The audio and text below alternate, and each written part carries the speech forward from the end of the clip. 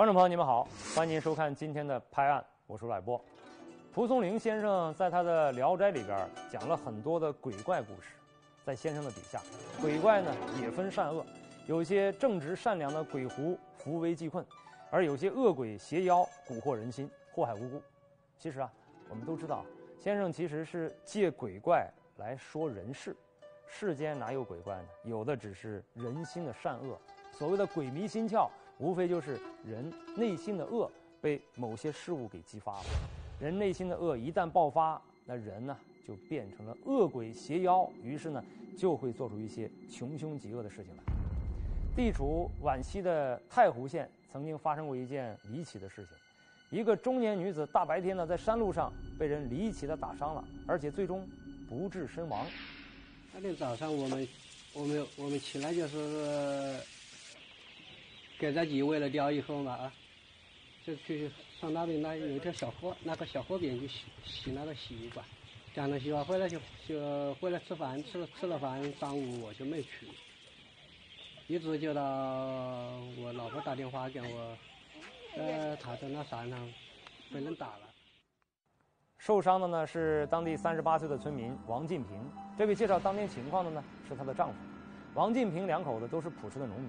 王进平的丈夫怎么也想不到是谁会把妻子打伤，而且伤的这么严重。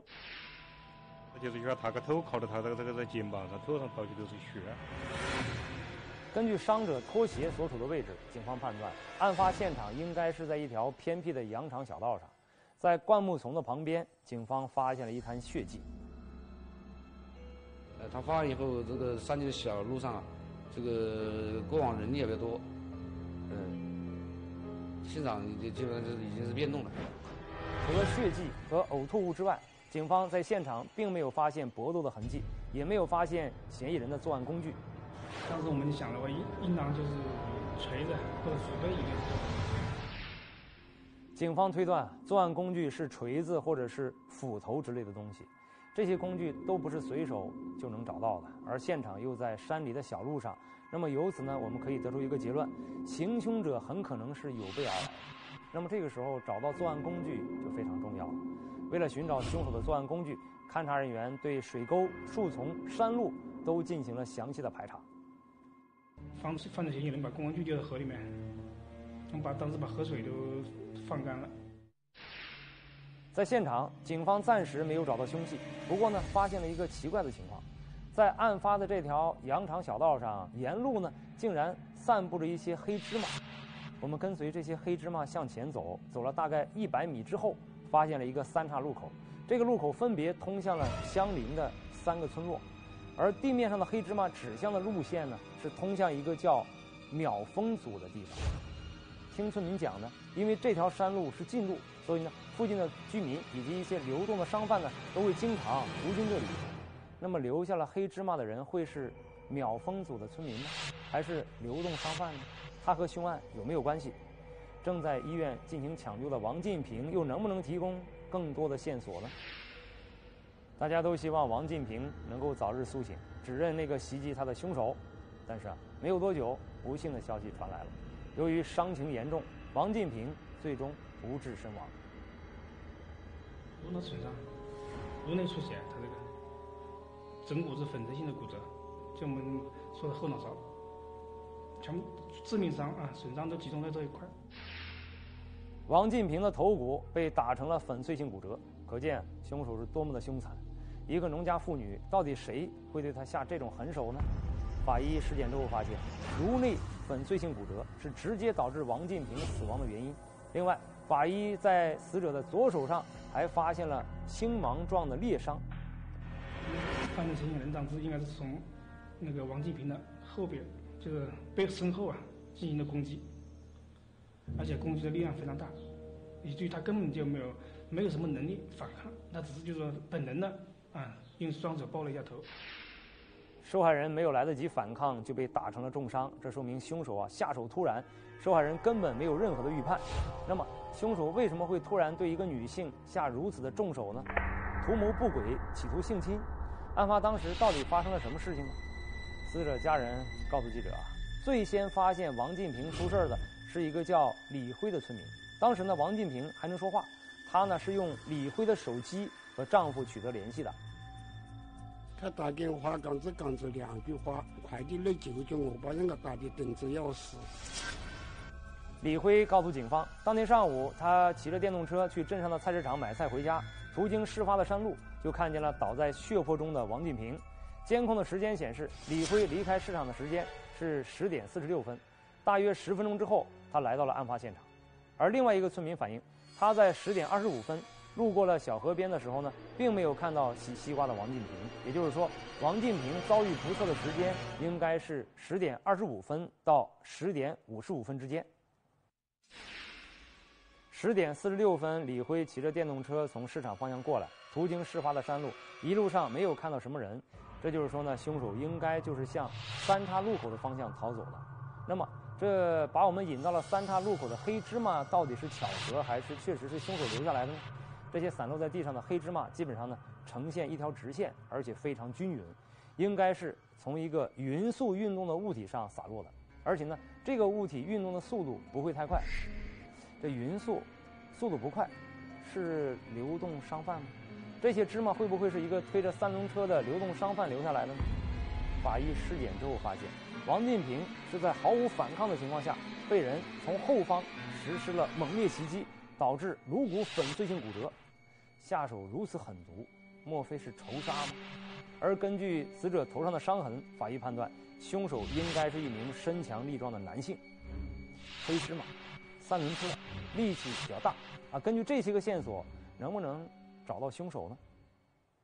夫妻和睦，邻里和谐，是谁要对一个村妇下毒手？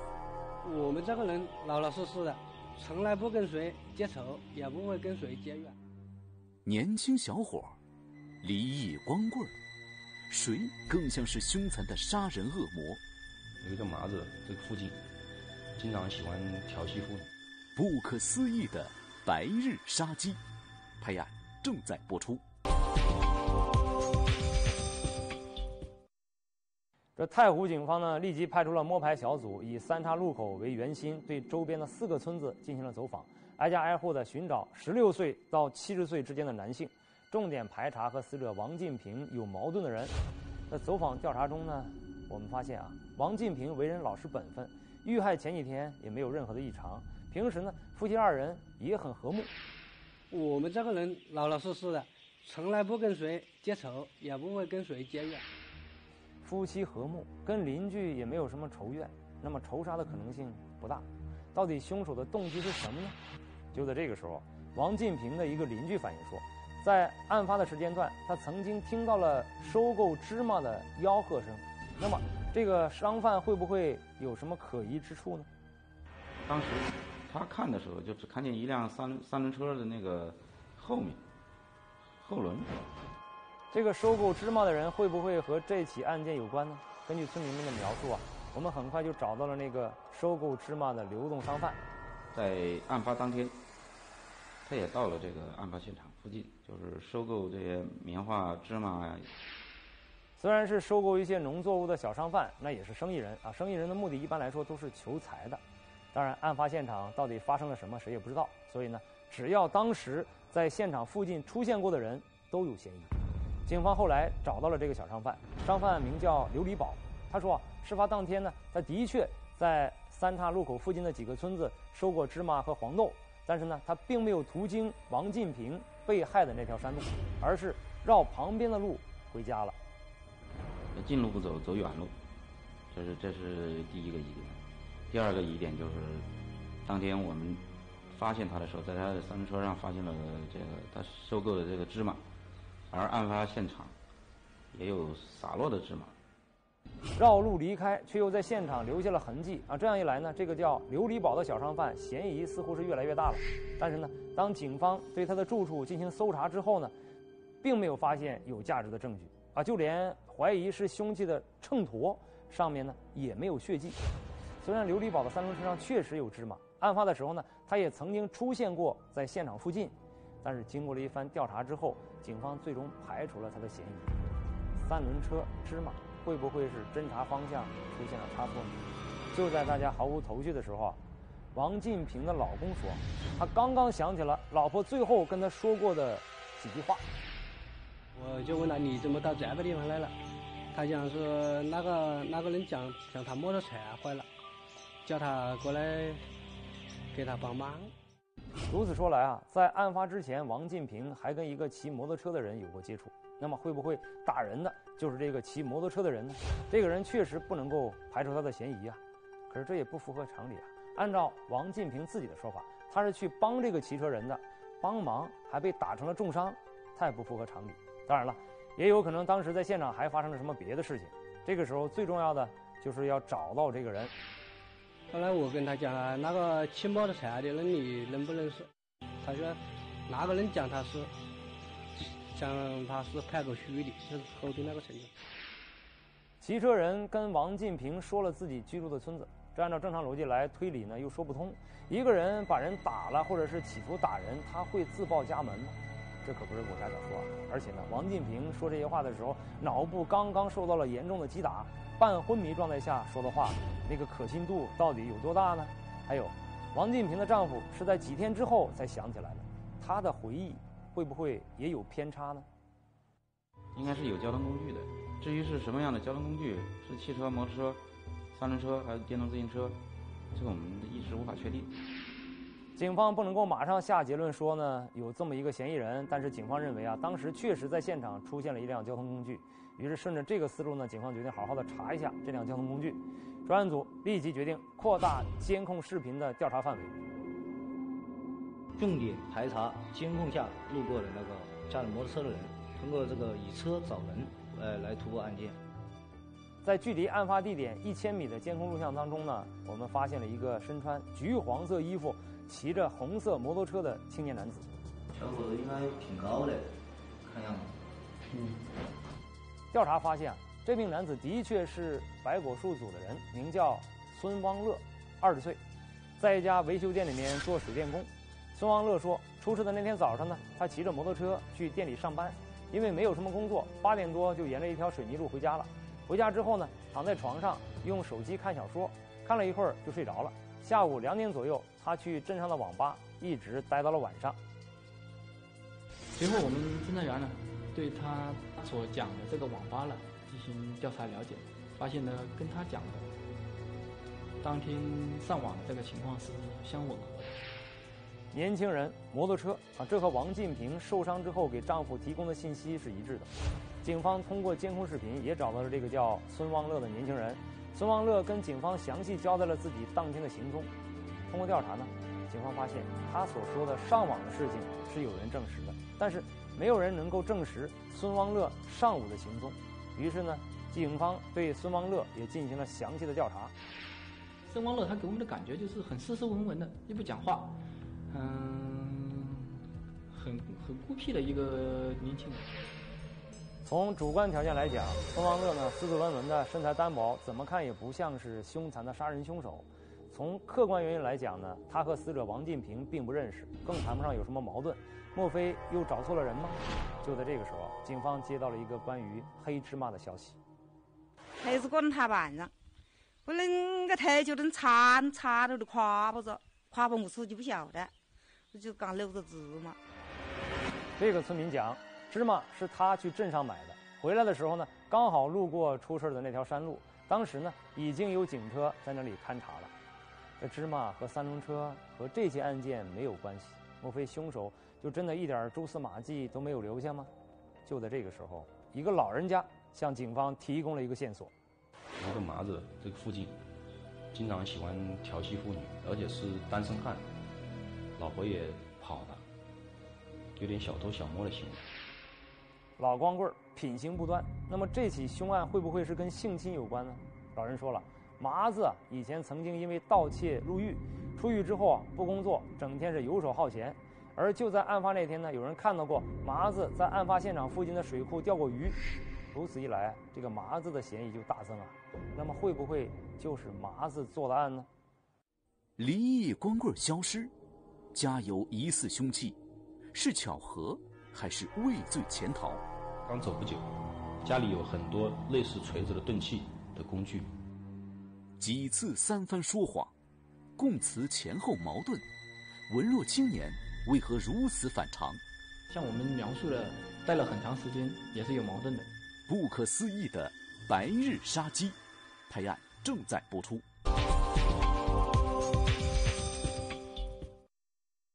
这显然是一条极具价值的线索啊！得到了这样的线索，当然是在最快的时间里要找到这个麻子。警方很快赶到了麻子的家里，但是这个时候已经是人去楼空了。门口边的水瓶里水还在冒着热气，显然人刚走不久。刚走不久，家里有很多类似锤子的钝器的工具。警方呢找到了他的家，他呢却在之前不久走了。这世间真有如此巧合的事情吗？莫非是麻子得到了什么风声，畏罪潜逃了？警方决定先对麻子进行调查，尝试通过监控来还原麻子当天上午的活动轨迹。可是就在这个时候呢，警方意外的在视频中又一次发现了身穿橘黄色衣服的孙王乐。这难道有这么大的巧合吗？我们当时专案组，我们那个视频侦查小组都非常兴奋，并且及时的将这一信息反馈了那个我们那个专案组。孙汪乐之前在接受警方调查的时候说呢，他整个上午都是在家里的。可是呢，最新发现的监控视频显示，孙汪乐十点五十四分，也就是王进平遇害之后不久，曾经出现在了一条公路上。虽然这个地方距离案发现场有一公里远，但是呢，这个发现就代表着孙汪乐说了谎。孙汪乐为什么要说谎呢？他为什么会在那个时间段出现在了监控里呢？他到他舅舅家去了。然后返回家里的途中，经过了那个卡口。孙汪乐的舅舅说，案发当天的十一点钟左右，孙汪乐的确来过，但是没待多久就走了。至于外甥之前去了哪里，他也不清楚。像我们描述的，待了很长时间，也是有矛盾的。那么，孙王乐在到达舅舅家之前，到底去了哪里呢？在我们的不断劝说和鼓励下，孙王乐终于开了口，说出了他撒谎的原因。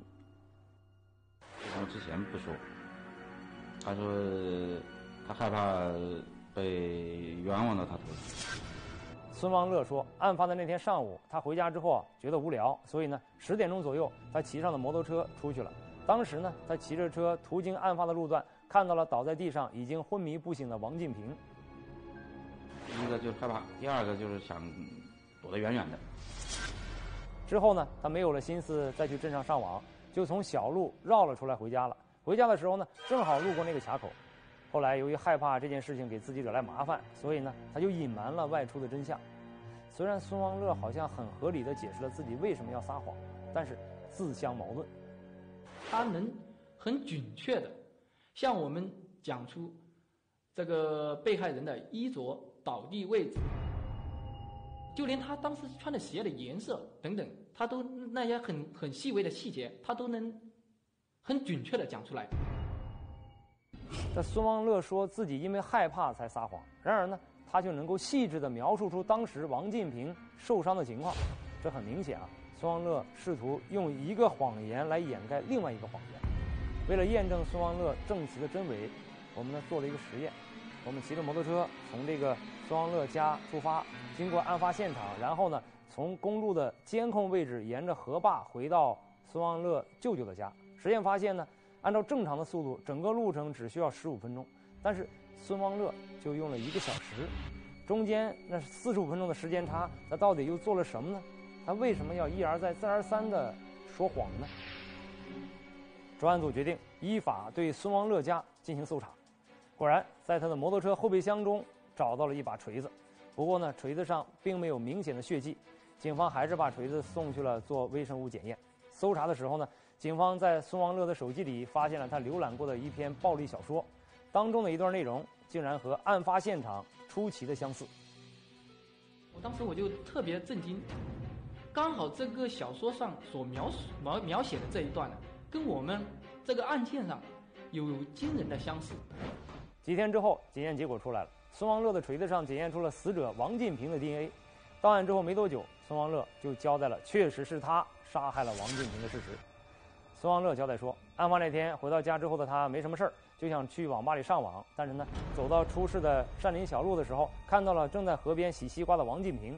孙王乐说，这个时候他突然产生了一个想要打人的想法。我就跟他说，我那个车子坏了，叫他帮我去推一下。向来老实本分的王进平跟着孙王乐向前走，途中呢，他还问起了孙王乐的家住在哪里。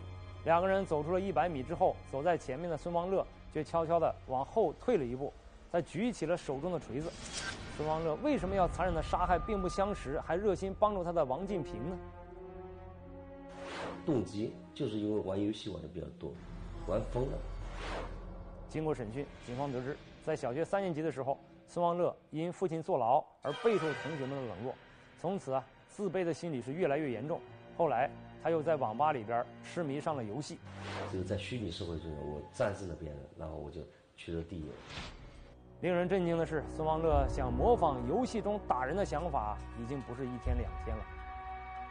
我很不理解，他有这种作案动机。在我的印象中，这种事情只发生在网络世界里，或虚拟世界里，或者电视上，但是没想到就发生在我们身边。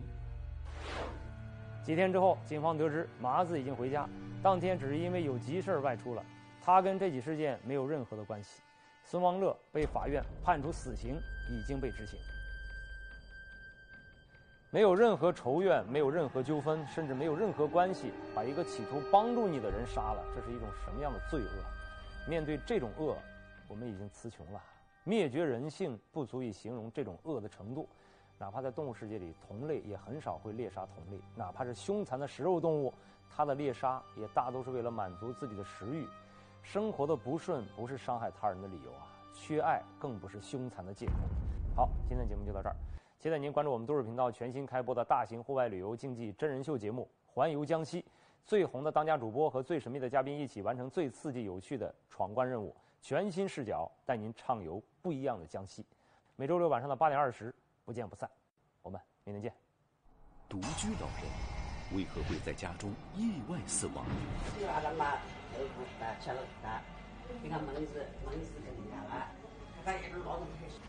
取款的神秘女子，是否就是杀人凶手？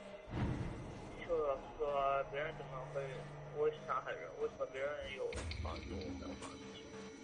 致命的妒忌，拍案，明晚播出。